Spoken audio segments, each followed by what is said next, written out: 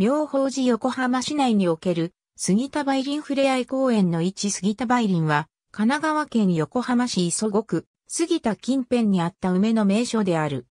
安土桃山時代に、領主によって住民に梅の木の食事を奨励したのが始まりで、江戸時代から明治にかけては観光地として賑わった。塩害や宅地化により現在ではわずかに名残をとどめる程度であるが、再び過ぎた海を増やそうとする動きもある。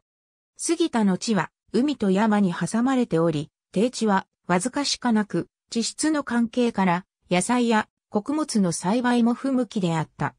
天正年間、過ぎた付近の領主であった間宮信重は先人用に重要な梅の実を集めるため、村民に副業として梅の栽培を奨励した。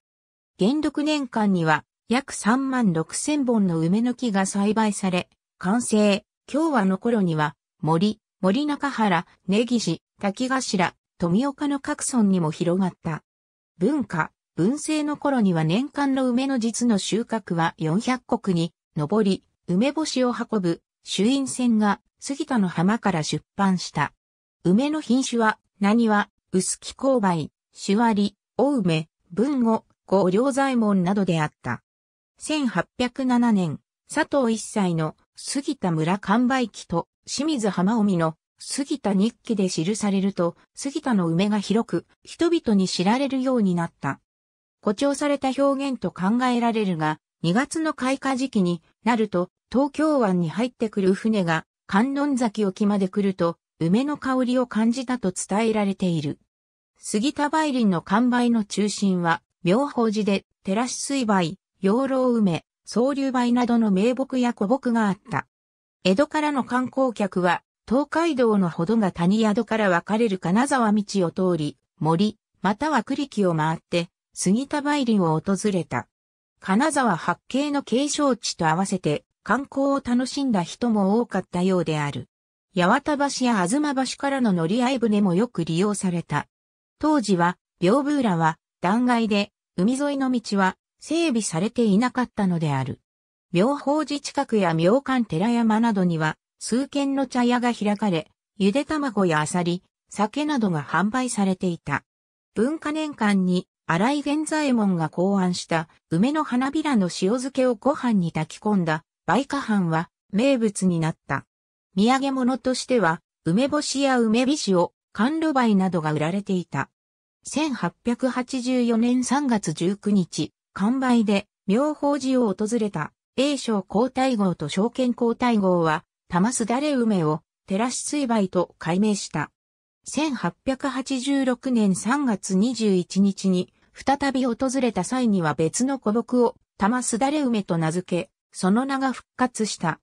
明治の中頃になると、塩害や木の漏水により梅林は衰えを見せ始め、地元の人々の手により再興が試みられた。